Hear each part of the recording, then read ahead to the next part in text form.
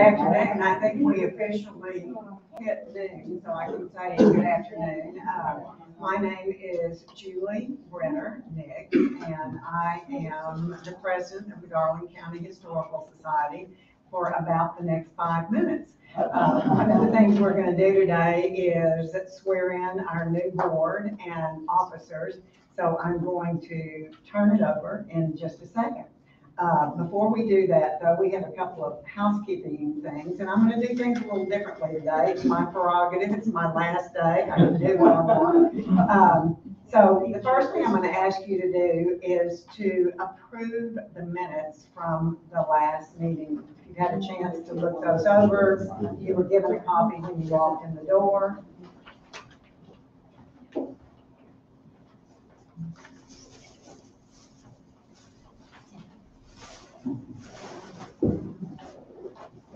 Do I hear a motion to approve? So moved. Second? Second. Thank you. All in favor, say aye. Aye. And before Paul gets me, I also need to remind you that we are recording, and so, uh, any ambient noise, for example, your cell phones will pick up on the recording, and the people at home will not be happy with it, so if you could, please. Um, I told you today that we're swearing in the new board, um, so I'm going to ask them to come forward. Uh, They will be President Biddy Martin, uh, Vice President, President-elect Lynn Pitcock, who's not able to be here today, Secretary Elaine Johnston, Treasurer Ray Rossett, Board members John Herfel, Ron Fuller, Kyle Clem, Tom French, Minnie Lennox, and Clyde Covington. I must also take just a moment to recognize the fact that we, we lost one of our board members last week, the great historian Orville Albritton. Um, and so we take just a moment to think about Orville and what he contributed to the society. And then I'm going to ask our incoming board members to lead us in the Pledge of Allegiance. The flag is over there.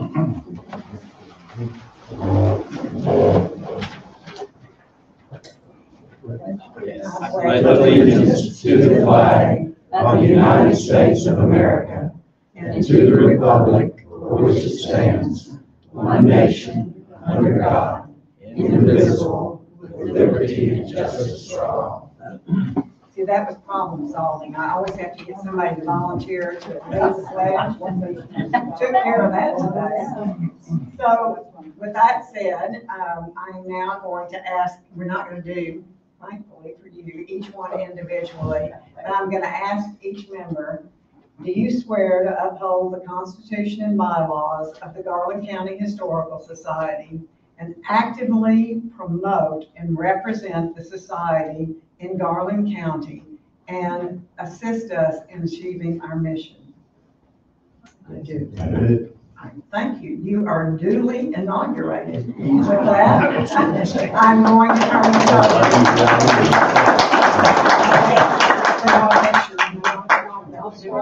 Smile, one, two, three, smile. Hold on, one, two, three, smile. All right, and everyone can see that. Congratulations. Thank you, Julie. I vow to do my best to follow in the book, big mm-hmm. footsteps of our first president in nineteen sixty, who was John Conley. Others who served were David Whittington, I don't see Susan here today, that was her father, Susan and Mary's. Dr. Ronnie Bracken, Joe Poe, y'all remember some of these names? I'm sure you do. Pearl Ridgway, Orville Albritton, Clyde Covington, Gary Jackson, and Julie Brenner Nix. Julie served during the difficult COVID years, and yet she achieved so much. We now have a membership renewal system and corporate sponsors, which are National Park Gifts and Souvenirs, I always get it mixed up, AT&T and Myers Realty. Julie co-chaired our popular tour of homes, Hidden Hot Springs. She's contributed several articles to the record over the years. And she was the guiding force behind our 2022 strategic plan. Julie, can you come up here, please?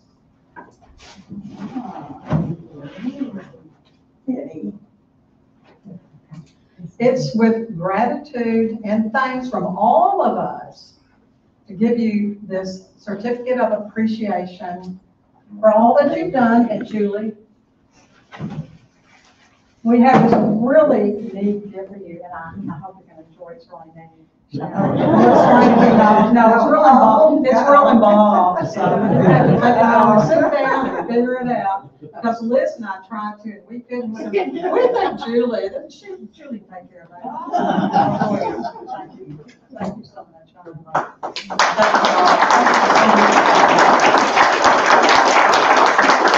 And now our tremendous executive director, Liz Ross, will come up to introduce our speaker. Thank you so much. Thank y'all for being here today. Before we get to today's speaker, um, I want to tell you, next month on the third Tuesday, which is February 21st, we're going to have Ranger Kendra Barrett here as our guest speaker on the topic Hot Springs for Health, then and now. I love then and now things. And she's going to talk about the evolution of public health at Hot Springs from the late 19th century till today. And I think that will be a really nice compliment to what Cane is going to do today to fill in this picture for us. Now, Dr. Cane West is an academic historian currently working for Hot Springs National Park. Though a native son of Arkansas from Little Rock, actually described himself as a city boy, uh, he spent the last decade in the National Park Service working all over the country at a variety of nature and history themed parks. Fortunately, his academic research on settlement in the Arkansas River Valley has always kept him tethered to his home state. He recently joined the staff of Hot Springs National Park as its education coordinator, finally joining his academic passion with his home state enthusiasm. And we're so glad you're here in Hot Springs and you're here with us today. Dr. Cane.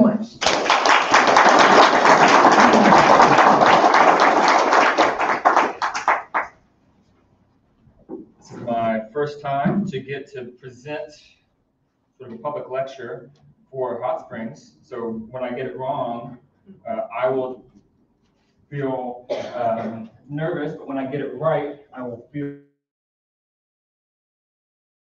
If anybody's ever talked to Liz before, every time I talk to her, she says, "Oh, you should write that in the record." And I want to want y'all to know that we at the Park Service tremendously benefit from all the work that y'all do, the research that you've done. It contributes to our education program. So thank you all for uh, being such a really vibrant uh, county historical association, uh, the Arkansas Historical Association. They always bring up Garland County as well. And so I'm going to wear two hats today, even though my main park ranger hat is to the side.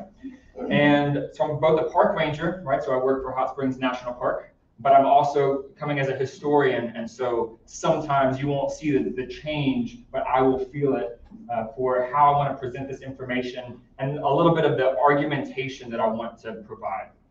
So Hot Springs, when we think about its founding as part of the National Park Service, we'll often mention uh, 1832, oldest unit in the National Park Service. We don't like to brag, but we're the oldest, we're the first. So we often will talk about that early period, but very often neglected not only by um, the general public, but by even National Park Service historians, is Hot Springs' role in 1916 with the creation of the National Park Service as a sort of a government entity. And so that's where I want to begin to offer my um, initial research into that topic, right? So this is sort of an ongoing research that will be a, a work in progress, if you will.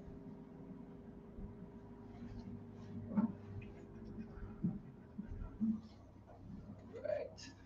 So brief overview of our recorded history at Hot Springs National Park in Hot Springs. It really begins early 1800s for recorded written stories, though there are a handful of 1700s references to the Hot Springs area. And in 1832, this sort of uh, this geological wonder, right? It's the hottest water that had been measured scientifically to that point in North America, 143 degrees, 40 dozen or 40 some odd springs coming out of the hillside, an unexpected marvel west of the Mississippi River. And it was already being used as a medicinal destination for people, specifically in the Mississippi Valley, but across the country as well. And so Hot Springs is going to be set aside, reserved from public use in 1832.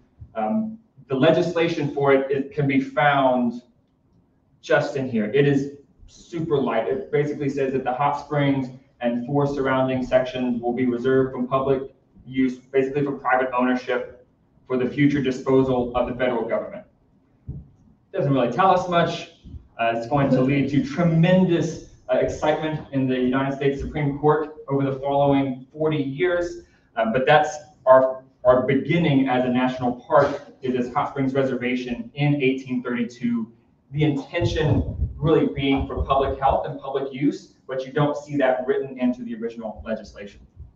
Now, uh, when we talk about the historic national parks, you can see people are running, they're super excited to hear about this, so that's why we're hearing footsteps above us, is my guess. Um, But they're wondering, what was the first national park? Well, let's answer. Um, I'm not saying that Hot Springs uh, is the first national park. I usually say we're the oldest unit in the National Park Service. But if you look for the blue dot next to Hot Springs Reservation, this was submitted to Congress in the 19 teens, explaining the order of events in which national parks were established. And we're the first. So I'm not saying it. Congressional documentation said it. But we'll move forward into what it means to uh, be a national park. I will say that oftentimes you'll hear that Hot Springs is the first like uh, resource reserved by the federal government. I want to be a devil's advocate. There are forest reserves that were created uh, beginning in the 1790s, but into the early 1800s. And these forest reserves were like live oak forests, and they were specifically to protect for naval use, right? So it's preserving a resource, but for specific industrial use or military use. This one is located in Florida. It's still part of a, a national scenic area. Um, so just a shout out that Hot Springs is the first of a, a, the national park reservation, but not the first time that you're going to have the federal government trying to balance public use and um, private ownership. That story of uh, national park, the, the idea of a national park is going to see its next uh, iteration with this spot. Does anybody know where I'm where we're looking at right now? Yosemite, yes. Yosemite out west. Um, 1864 is going to get set aside by Congress as a state park. And you're going to start to see the, the not only the legislation um, itself, but also some lingo from park developers, namely uh, Frederick Olmsted, that the national park should be, or that this park should be a public pleasuring ground. You sort of, sort of like walk into here and be like, ah, I am relaxed. I'm out of the city, life's good. Of this, this playground and recreation idea to what a national park is. And that legislation, that language that we see uh, for scenery as a uh, sort of a, a recreational space is going to then get repeated at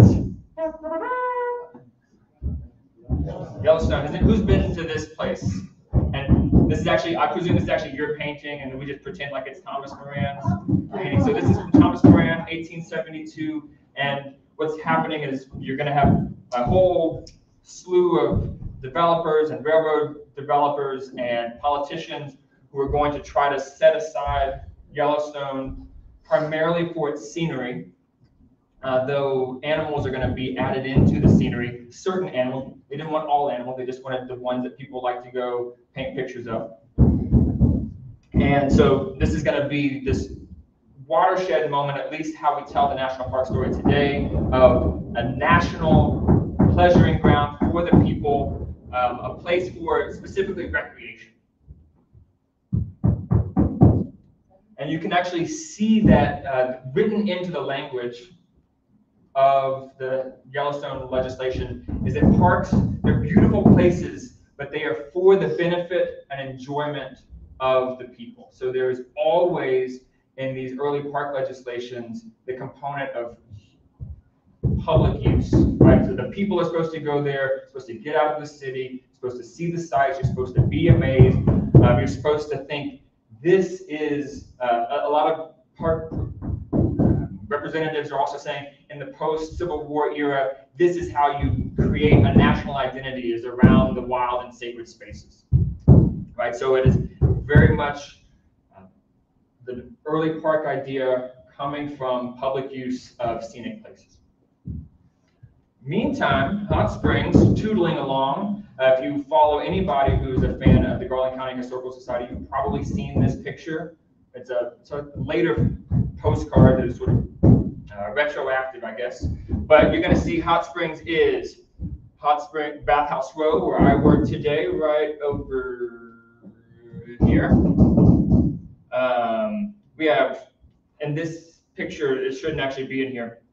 Uh, the uh, government-free bathhouse, so a, a version of that was on that location. And then we have our hotels. So if anybody wants to stay at the Waters, it's like version number five of a hotel there. And if anybody wants to come to uh, the Fordyce Bathhouse, which plug for the Fordyce Bathhouse, we are closed for the next six weeks except for information, and we will have our first exhibit redo in 34 years. So it's going to be exciting whenever we reopen, grand opening, yes, and but save all your, don't use all your claps now because we will want them also at the grand reopening. And so, but so Hot Springs has a very different orientation than what we're going to be seeing at Yellowstone. Even though Yellowstone people are using the hot springs for medicinal purposes, uh, even at that same time. But what's going to develop following Yellowstone is a sort of a, a grab bag, a potpourri bag of new national parks. And between 1872 and 1916, there's going to be about a dozen national parks that are created. Uh, some of you might have been to some of these. Does anything look familiar to anybody? You can just yell it out if you think you see it. You have to yell over the hammers. Mesa Verde, yes.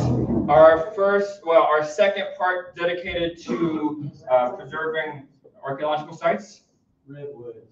Redwoods, and this is actually sequoia, but it's, you know, same idea. So to save the redwoods, the sequoias, um, those giant western trees, absolutely. Anything else we see that's familiar? Glacier, yes. Anybody who wants to be really cold can go hang out in Glacier and see the dozens of uh, glaciers that were present at that time. The, not the Teton, what, this one? No, down. This one? Oh, that's, this is gonna be Glacier. What else are we thinking?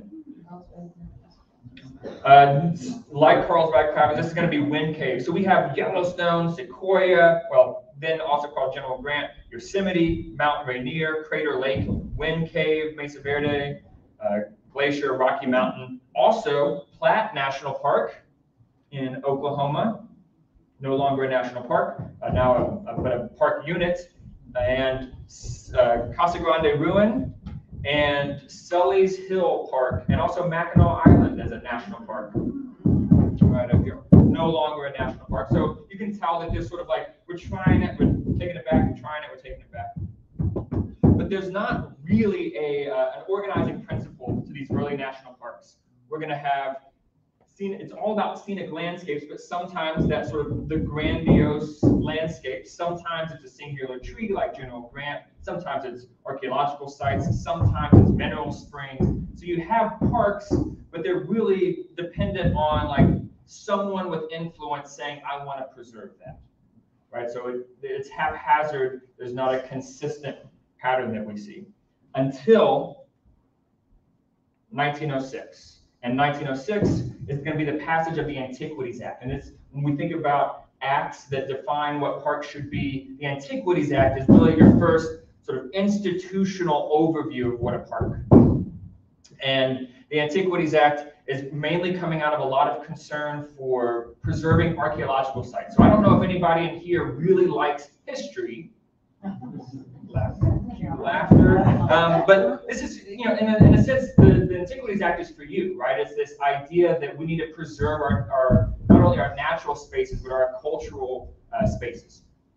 And you're going to see, and the further aspect of the Antiquities Act is not only its motivation, but that it gives the president the right to reserve federal lands uh, by his, by their own decree, as much space as is needed, or the smallest amount of space needed to preserve that feature. It's not always for archaeological sites, uh, though oftentimes it's going to be like Montezuma's Castle and uh, Canyon de Chelly might be in there. And there's also a really cool park. It was dedicated to me on my trips. It's not true. That's I got to be uh, Olympic National Park in Washington State. We have the Redwoods. We have, bless you, we have uh, Petri, well, what does this one look like? We have Petrified Forest. Has anybody been here? First National Monument. Yep, Devil's Tower. And has anybody seen this place? Featured in the Griswold movies. The Grand Canyon, yes, starts out as a national monument. And one of my favorite uh, quotes being that man can do nothing but paraphrase, man can do, do nothing but mar this space. Keep it as it is, because we can only detract. And we know that there's at least one person who's very excited about the Antiquities Act. Teddy. Uh, he's going to, in his time, add five national parks to the, the seven that had existed prior and 18 national monuments. So this is somebody adding a half dozen national parks, over nearly two dozen national monuments, sort of that conservation ethos, this idea that the federal government has a responsibility to protect natural and cultural resources, and we have the legislative possibility to do that. So Antiquities Act has a tremendous influence on uh, early park preservation that we see today. And yet, we see debates over what a park should be. And it mainly comes from the U.S. Forest Service. Do we have any Forest Service personnel in here? Thank you for all your work. Uh, when you think about the Forest Service, is it preserve it and don't touch it? Is it uh, preserve it for best use and wise management? Best use. So uh, the guiding principle being that we have these lands, it, it really comes out, out of concern that watersheds aren't going to be well preserved.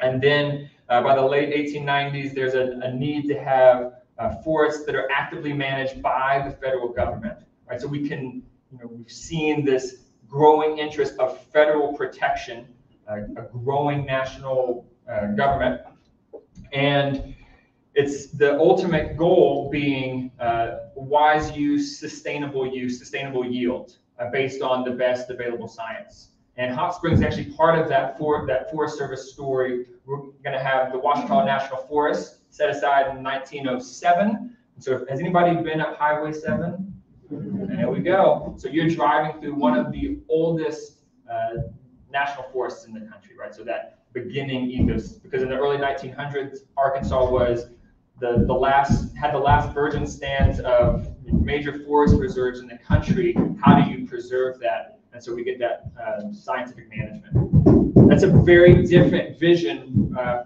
than uh, what other conservationists are looking for, right? This is about having park, having forest reserves and forest areas that have an ultimate sort of municipal outcome, a municipal goal, right? It's not what a lot of the conservationists uh, that we think of, like John Muir, are talking about. So you can see that there's a contest about, well, we preserve the land, but what do we do with it?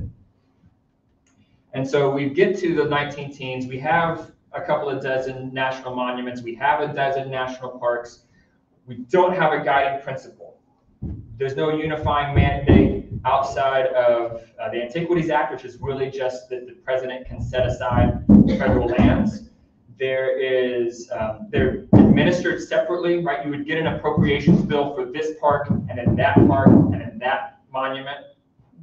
There are very few employees. By 1915, there are 90 employees in what would become the National Park Service. Uh, there's also really limited funds. This isn't the, the purpose and the goal of, uh, of Congress to that point, right? To sort of set aside management spaces for people to go have a public playground. Uh, and there's also in the management itself, like, well, what are we managing for? What is our outcome? Is it utilitarian?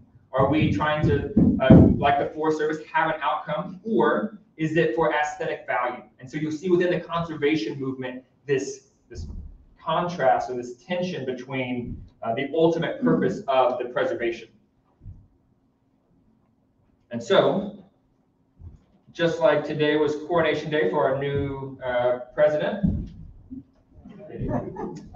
uh, we had in 1916 the Organic Act passed to try to define what a park is and to create a federal bureau of parks. And we can read, and they wanted it to be sort of a Gibraltar moment, right? What is a park? How do we define it? What is its management purpose? And can we do this all in one singular bureau? And so if we read through the Organic Act legislation, uh, it sort of, it hints at a lot of the debates that have been going on, and it gives a sense of forward movement for future conservation. So it's going to conserve the scenery, so it's very much about scenery, and the natural and historic objects, and the wildlife, right? So there's this protection aspect, and it's naming what we protect. We protect scenery, we protect natural and historical objects, we protect wildlife. So it's, uh, this is actually building off of what had been in the original Yellowstone legislation, that you want to keep uh, these natural spaces unimpaired. There's a second component to the Organic Act, and it's a very pragmatic understanding of how to manage parks, a, a utilitarian outcome that isn't about sustainable yield. The utilitarian outcome is seen in the second line, or the second underlined space. Leave it in such a manner that it is unimpaired for the enjoyment of, all, of present and future generations. So we're supposed to conserve it, and you're supposed to go to it and hang out and play. So who here has gone to a national park and played and taken photos and seen the, yeah. So you have done part one, or part two. Uh, did you take photos while you were there? Did you take photos of like non-scenic places, or did you take the good photos so you can show people? Well, yeah, we don't admit to the first part, but yes, you at least took one good photo. As long as you were in it, it's a good photo. Um, and so that's part one, right? So we have part one, part two. It's the scenic spaces, we're preserving them, but you are supposed to go to them, you were supposed to be there. And something that I always like to point out to myself and anybody who will listen is if you read the next section down, and it names what parks will be entered into the National Park Service. That would be national parks, national monuments, and the only park named in this section with its full title, Hot Springs Reservation in the state of Arkansas. Bow at that moment. Woo, Yes, thank you. So we've been here for a while. Uh, we made a park, a national park in 1921, but we've been around for a while.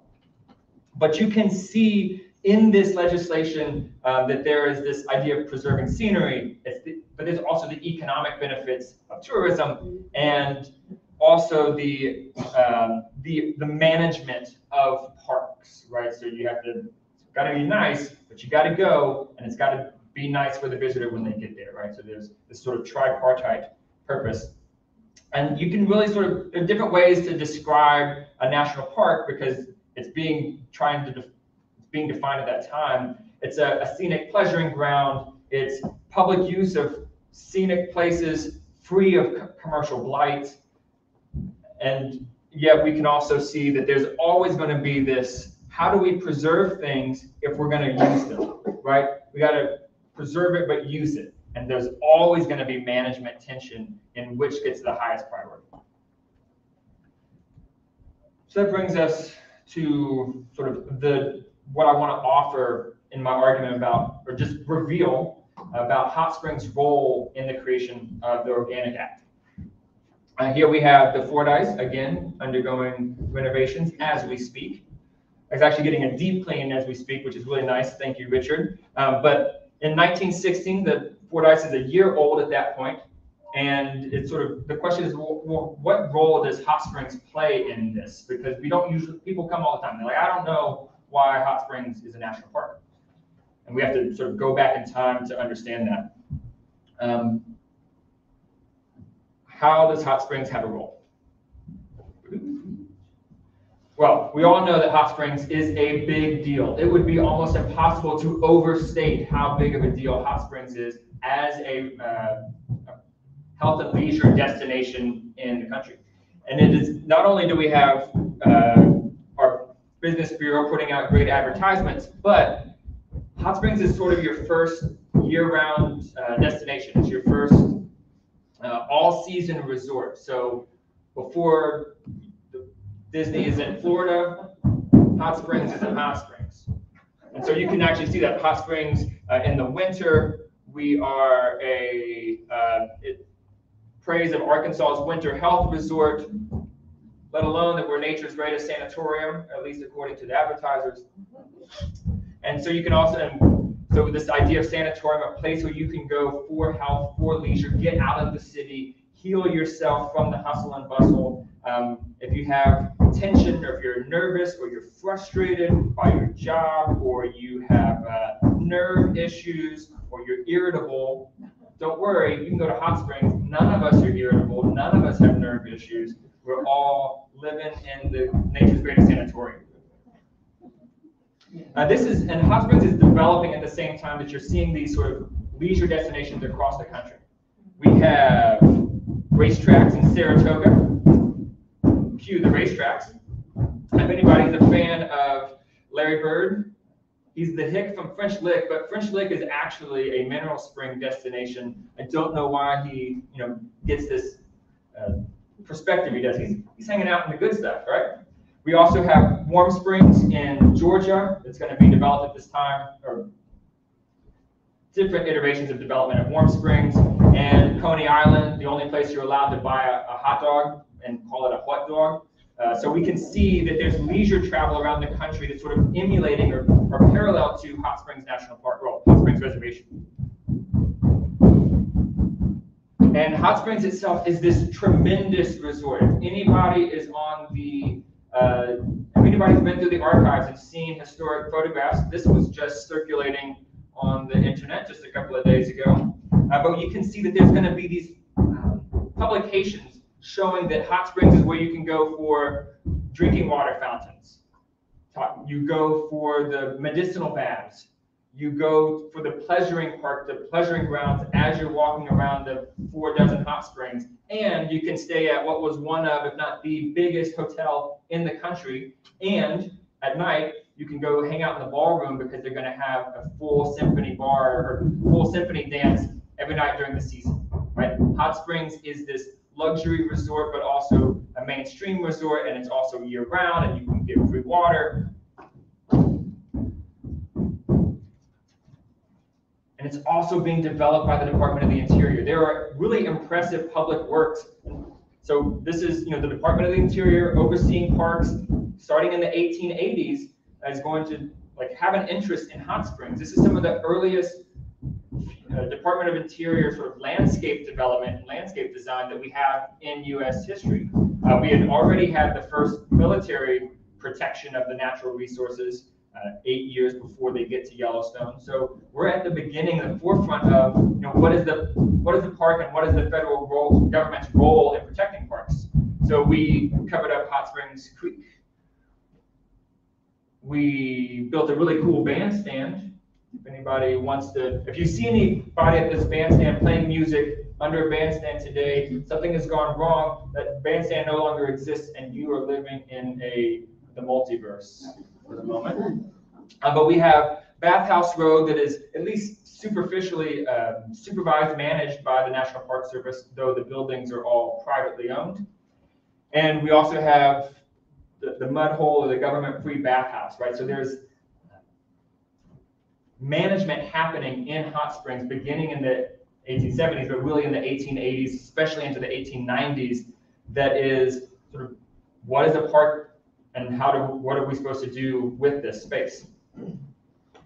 And so I and I want to reiterate that the government-free bathhouse, uh, seen here in one of its earlier earliest uh, presentations, but then later in its uh, 19 early 1900s form, is really this this promise that anyone can come to hot springs, right? If you are ailing, if you are the wealthiest of the wealthy, but also the poorest of the poor, this is a federally subsidized bathhouse for your needs to meet the, the public health desires of all the population, right? This is a really profound aspect of early public health management in the United States.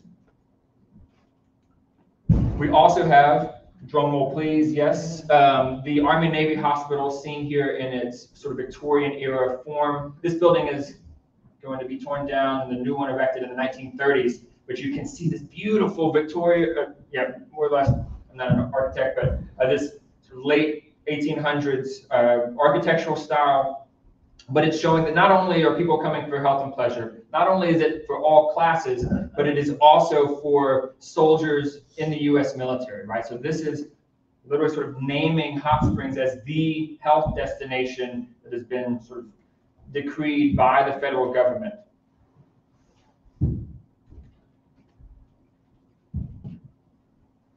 You know, America's Spa, we have uh, by the 1880s, there's no more creek to be seen, but you have Bathhouse Row, you have the government-free bathhouse, you have the Army Navy Hospital, you have vapor rising at least theoretically in this picture. Most of the springs have been covered over by that time, but we'll pretend. And so you have Hot Springs as this health and leisure resort, most of its resources being overseen and provided by either the federal government or people with leases from the federal government. Not only that, we, this is familiar to a lot of us, but Hot Springs is also serving as a model for other parks. Uh, this is a really lame slide. That I should never just put uh, print to paper, but I wasn't able to make the slide any better. But Hot Springs Reservation becomes a park that is repeated and talked about across the globe. Not only the Saratoga Spa State Park in New York, uh, sort of try to redefine itself on the Hot Springs Reservation, sort of public water for public use and public health. But so does Platt National Park in Oklahoma. Again, today part of the Chickasaw National Recreation Area. And believe it or not, has anybody been to Canada? Did you go to this national park? The very first place that the Canadian government went to to understand management of Banff was Hot Springs Reservation. They came down here, like, how are they doing? How are they leasing the water? What is the public health impact? And so Hot Springs, so Banff National Park was originally Banff Hot Springs Reservation. We see parallels with Hot Springs. And uh, by the 19 teens, there's even looking, the people are looking at Thermopolis, Wyoming, if you've ever been there. That's really nice. It's on the way back from Yellowstone. And uh, it doesn't become a state park at that time on the Hot Springs model. It will later on on uh, the Saratoga model, which is the Hot Springs model. So A plus B equals C. We are sort of a, a progenitor of this vision of parks, not as necessarily scenic places, but as uh, public health mineral spring reservations. Just to give a, a view of these spots, we have Platt, we have Saratoga Springs with the New York State Reservation. We have Thermopolis and Banff. And so these are places that are built on the hot springs model, or at least imagined as the hot springs model. And yet, um, as they might say today, people be hating uh, a little bit on hot springs because you, you're going to see from those early park advocates that even though Hot Springs uh, has been around for 80 years, even though it's a, a model across the country um, and across the, the world, it just, something about it that doesn't feel like those scenic pleasuring grounds like Yosemite, like Yellowstone. And so you'll see even from leading uh, proponents of the National Park Service that it never, somehow never seemed like a national park. Horace, we let you bathe at the Fordyce, what are you trying to say about this? Um, even in the national parks conferences where they're trying to define, uh, sort of in the lead up to the Organic Act, the secretary just like says this offhand in some of the meeting notes, you know, that we segregate hot springs from the other national parks. And uh, in 1922, as they're sort of developing sort of histories of the national parks, the historian here says that it was it's not a it's not a national park because it's not a pleasure ground. It's more like a resort, right? So they're trying to define national parks. They're actually trying to define national parks almost against hot springs. So hot springs is sort of the antithesis park for a lot of the proponents of, of scenic wonders. Uh, but we're, you know, it's fascinating to see that there was some, it was the same thing that happens today with our historians for the Park Service, where they give us a, like a glancing blow and then they go on to something else. That's actually happening for a lot of scenic park proponents in the 19, early 1900s. They'll sort of reference hot springs for a sentence, maybe two if we're lucky, maybe three if we paid them off to keep on talking about us. And then they'll sort of go on their way to what a national park is outside of hot springs. And yet, if we go back to the Organic Act and we think about how it's supposed to balance the conservation of scenery and public use, right? It's supposed to be about preservation of scenery, economic tourism, and efficient management of parks. Hot Springs has a tremendous role, and we are a notable example. And in fact, you could almost see us as the most obvious form of bridging that utilitarian and conservation gap. And I'll show you what that mean, what I mean by that with hot springs as sort of the bridge. Uh, we shouldn't be surprised that it's disregarded by people looking for an aesthetic and scenic playground, but it will be repeatedly highlighted uh, for by people who have a more utilitarian mind and who are more political pragmatists. The reason that hot springs is going to be highlighted is because the proponents of parks might not want to come here, but everybody else does. So if we look at the visitation to national parks in the decade leading up to the National Park Service, what do we notice about the blue line next to hot springs?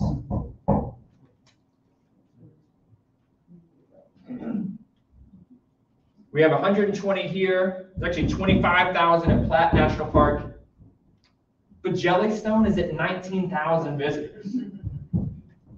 And for the most part, Hot Springs only goes up. And if you were to calculate, you get out your calculator and you were to take the totals and then Hot Springs amount of those totals, we are fully a third of all visitors to the National Park Service, to the future National Park Service.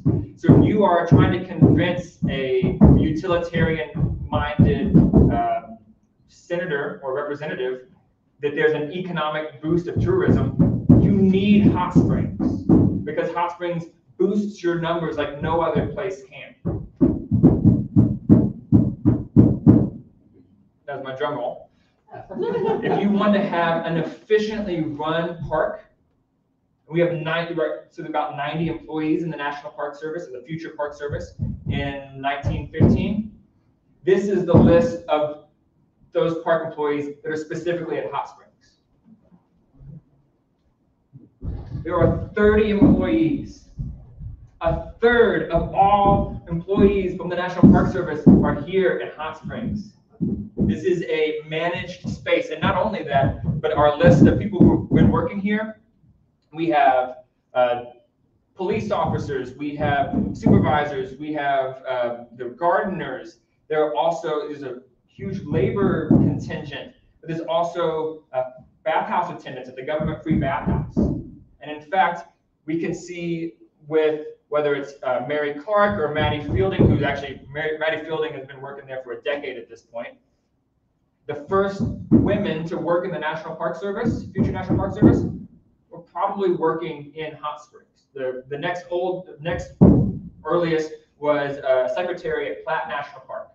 But here in Hot Springs, this is from 1915, but uh, there are 1900 same list, and we see the first women to work in a national park are here in Hot Springs because of the variety, because of the management practices that are required for a public reservation that is for public health and that has a government subsidized bathhouse.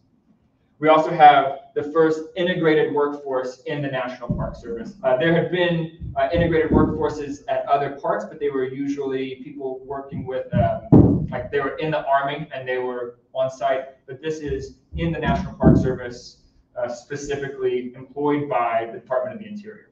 And so we can see that efficient management, but also a lot of early stories in uh, the Park Service management overall. And we also got a really cool champion. He's this really rich guy that had gotten uh, a lot of money based on borax mining, and his name is Stephen Mather. And if you've ever been to Petit Jean State Park and you went to the lodge and you now they have a new lodge, you can see the view from there. It's named after Stephen Mather, first director of the National Park Service, and he loved hot springs. I cannot emphasize enough. This is him on a horse in Happy Hollow and he would come here uh, for recreation. He said, we want to build this on the European model uh, because if you want to have a national park with international recognition and it's accessible, Hot Springs is the place. Uh, he was,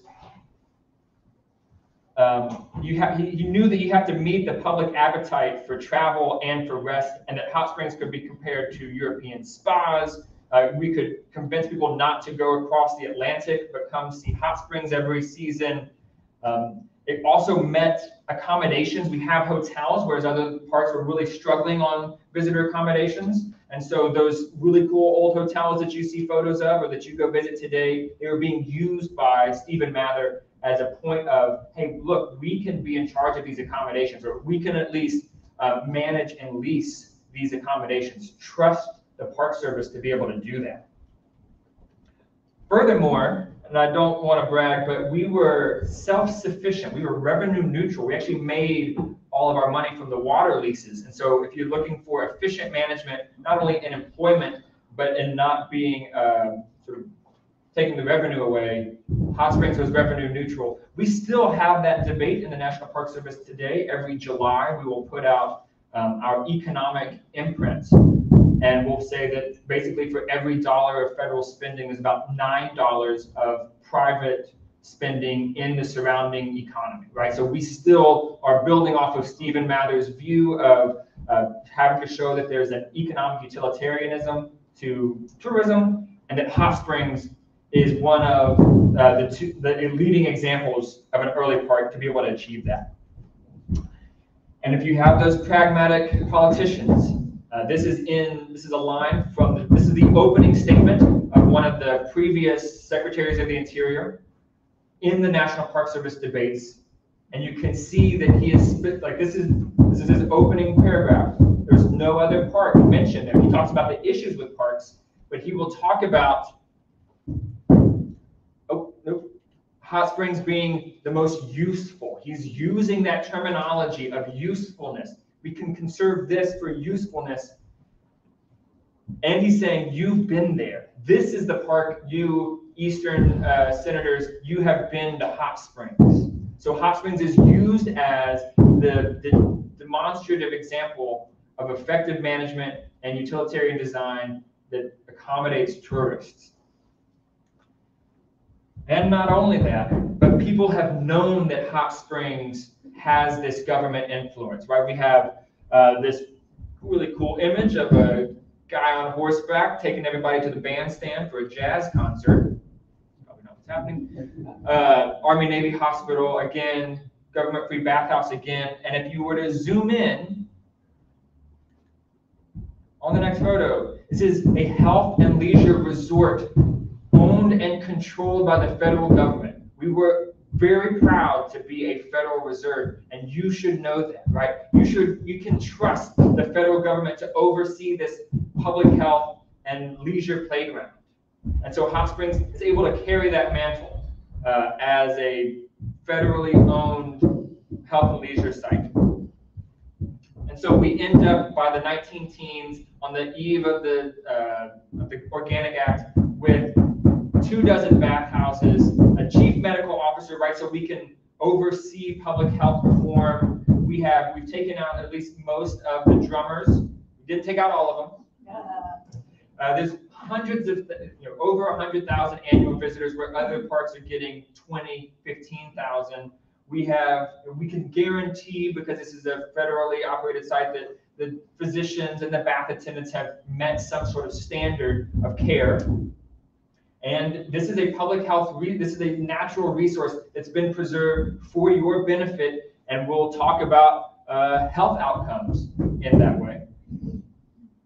And, you know, you can, again, effective management of this resource. And so despite um, sort of not meeting the aesthetic quality for a lot of national parks, Hot Springs proves, it's like a proof of concept, right? That a national park can be managed and it, it can be done by the federal government and that that federal government should be a national park site. And so it is not a coincidence, again, that we're sort of missed, not understood by many advocates and very much the central pillar for other sort of more pragmatic advocates of the Park Service.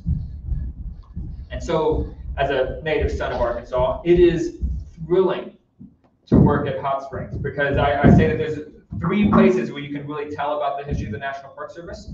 Um, one is Yosemite because it has that early documentation. One is Yellowstone because Yellowstone serves, at least today, as the idea. Um, but Hot Springs was a different vision for the National Park Service, right? If we had parks on the Hot Springs model, we'd have a bunch of mineral springs and free hospitals as much as we have scenery. And so when we, we, we can tell the story of the National Park Service in a different way from Hot Springs.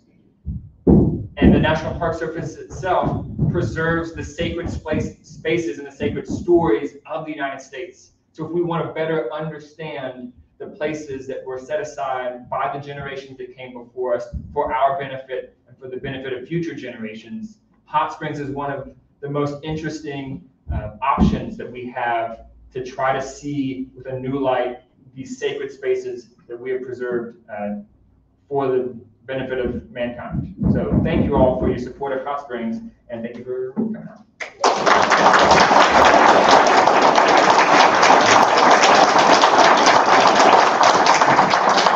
I successfully saved time for at least one question. Anybody has one? Yes, sir. Was today the last day that the Fordyce was open? or was it yesterday? Yesterday, so don't worry, you're not missing it because you're here. I've worked at a lot of, I'm sorry, I've named this several times, and so uh, if you've already heard it, I apologize.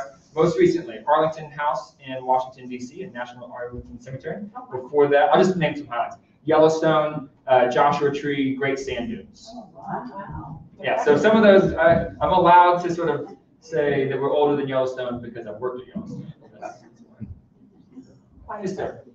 How difficult is it for your organization right now, here in Hot Springs? How difficult is it, y'all, to continue to justify the existence of the waters and the park here, you know, the place? Hot Springs usually is on the bottom of the list, a lot of times when you'll see some fluffy stuff about national parks. Mm-hmm. But, uh, it sounds like the Park Service is aware of these things and what you're saying. So are you having a, you have a tough time continuing to justify our existence here? Not with the Park Service itself. Uh, there have actually been times when the National Park Service has sent out people to say, is this park meet park standards? Um, but, and we were named a national park to, we don't, not necessarily, it's more, not within the National Park Service, but visitors have that curiosity, because we've, we've been trained, at least in this generation, for what to expect. You're supposed to drive through the entrance and then go to the edge of the Grand Canyon and be like, that's a national park, right? So you get trained as a society, just like Smokey the Bear trains us, thank you Forest Service, for how to uh, take care of natural spaces. Uh, we get trained in our parkways for how to drive through scenic areas. Uh, so I would just say that um, it's a matter of shifting public perception, uh, but it's that, that shifting in perception is I'm able to say, hey, I do have to con- not convince you, but argue the case. And I bet you've never thought about why a different generation might have had a different thought. And then you get into parks as generation upon generation. There are parks that are created today that would have never been created in the past, and vice versa. So I think it, uh, we just, we just get to answer and ask what each generation set aside for us and why. And it's the ongoing practice. Where exactly is the location of the government-free bathhouse that you showed? It is more or less where, there's a seep that's coming out of the Grand Promenade today. It's basically right there. If you were to get a sledgehammer, don't do this, but if you were to, and like knock down the, um, should keep on going, I'm recorded. Uh, it's, just walk straight through the Quapaw, under the dome, and then back up there. So like that picture of the government-free bathhouse, the, the, the Quapaw is like sitting right here. Okay. Like the, the dome of the Quapaw is directly above you. And this is the Grand Promenade behind you. They've just totally altered the landscape, but it's more or less right there, where that seep is. Didn't we have a government-free bathhouse here until like the fifties? Yeah, so from eighteen seventy-eight, basically, until, uh, nineteen fifty, Mark can tell me later. Um, so for over seventy years, they operated in Hot Springs National Park, a government-free bathhouse subsidized by the federal government for the benefit of people who could not afford the, uh, the bathhouses on Bathhouse Row. It's pretty remarkable of a story. It can be read about probably in the record on one of your articles. You were talking about wearing true hats, but what, what are your day-to-day responsibilities? My, so as the education coordinator, what we want to be able to do is, I don't know if any of you have youngin, youngins in your family, but we need to tell people about their national parks, right? We need to introduce them to natural spaces or spaces that are, um, they can just imbibe and revive and enliven the soul. And so that's my number one job with, as an education coordinator is to introduce students to the parks and also to meet state standards um, in that process. As a uh, park ranger, park guide, my role is to answer, to basically be a tour guide, uh, be a, a little bit over enthusiastic, maybe a little bit too talkative of a tour guide, but to stand at the information and orientation desk. And then on my, my foundational piece, what my supervisor wants me to do is keep on doing the research because national parks are, you know, these spaces for research, um, for exploration of natural, biological, geological, hydrological, uh, cultural resources. We also get over 300 million visitors a year to national parks. And so we have the greatest spaces for inquiry next to the largest uh, sort of potential in- education base. But a lot of times, because of the varied uh, structures in the, in the National Park Service, we can sometimes we're going in two different, many different directions. Uh, we just we can't reach across lines, and so I, I get to work a lot with our cultural resource team and our natural resource team uh, and my own research to uh, continue to tell these stories because we have the longest sort of managed history of a national park. We have nine, at this point 191 years of history just within the park boundaries, and obviously uh, for thousands of years before that. And so there's stories that are still yet to be told, and we're, we're always trying to invest more and more to keep on building on the research that people have done before. But the research is always there. It's very exciting to sit there and find new things. If anybody's ever been to the archives, you know that feeling. That's what I'm trying to also keep in mind every day. Yes, sir. You know, we were the first quarter when they did the quarter series, apparently the government recognized us at that time. Yes, all right. Thank you to the U.S. Treasury and Mint. I, I really appreciate knowing that. Um, like I said, I'm not saying we're the oldest national park. I'm saying that the federal government in the 19 teens said it, and then later versions of those same early documents would change our dates at, to different dates. We could do a whole series on. Sometimes we're 1877, sometimes we're 1880, sometimes we're 1921, depending on how we get below Yellowstone on the list. Got a question from an online viewer. Uh, Can Hot Springs coordinate with other national parks in order to provide more context about the early parks? Yes, so um, parks are managed uh, sort of separately. That's for various managerial reasons. We have different resources, we have different visitation uh, patterns, but we will often work to the extent that we have the resources with education teams. Uh, If we're doing education programs, the curatorial staff, everything is run out of a, you know, you go to the regional office and then you go to the national office.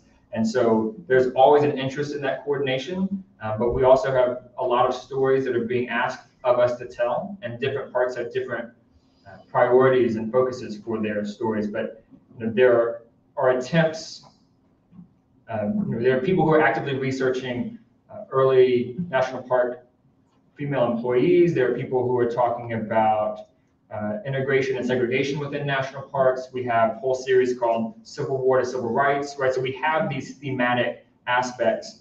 And, you know, we just had the centennial, and the centennial in 19, uh, 2016 would have had that same component. Um, but actually, right now, if we were to coordinate with other parks, it would be about the upcoming eclipse, which will be coming to Hot ah. Springs in next year, 14 months. So yes, we can talk about early history and the eclipse in April 2024. Great question. Thoughts, curiosities, questions? Yes, ma'am. Have you ever had to do a presentation with the roof being? No, I've not had a, a presentation like that. I did, I've had bison come through a presentation. And I had a, a fast approaching s- thunderstorm over a lake. And I had a, it was thirty-six degrees, so it wasn't thirty-two degrees, and it was snow rain, and I was like, nobody's shown up to this. But lo and behold, people go to Yellowstone and they don't mind the weather. And so, um, thi- but this is up there, right? So this and the snow rain, when the people showed up, I had to stay for ten minutes, they showed up at eight minutes. So I had that two-minute window, and I gave them the whole presentation. And they were bison, a little bit nearby. It- And they were quiet all morning. Uh, They, they were up there, you couldn't hear anything going on in the building, and then this started. But But they were- so they much actually- for, so much for keeping your cell phones on silent. Yeah, but the drum rolls are very appropriately timed, yes. There was a very prominent Native American history here for Tobacco Pine Yeah. and such. Was that something that was discussed or prominent in the early years of the national park? An awareness or? Absolutely, because the park is, the park is being promoted by, uh, largely by bathhouse owners and by business league members. And if you're going to sell people on healing waters, the way to do that is to say that, uh, that these waters have been identified and they've been used for centuries, right? And so the Native American presence and then is just, it's chock full. I mean, there's a reason why uh, Colonel Fordyce is gonna put into his bathhouse a bunch of pottery to show that history. But also, um, if you wanted to hear about Ponce de Leon and the Fountain of Youth, if you wanted to hear about DeSoto, those are all sort of marketing aspects as much as historical aspects to the park uh, to bring in uh, Eastern, like Euro-American visitors. I think I'm about to get cut off. Well, of course, they got, they Yeah. go quiet. Once we're finished, we don't hear a sound. We want to thank Cane, great. Thank you all for coming. I want to make a quick announcement, since you're all history buffs in the room, we are gonna have another program tonight at six featuring Abraham Lincoln in period dress. That's at six P M in this room. Um, you can come in through the auditorium. The main library closes at six, but Abe Lincoln will be here tonight at six talking about slavery and emancipation. And hopefully the roofers won't be back.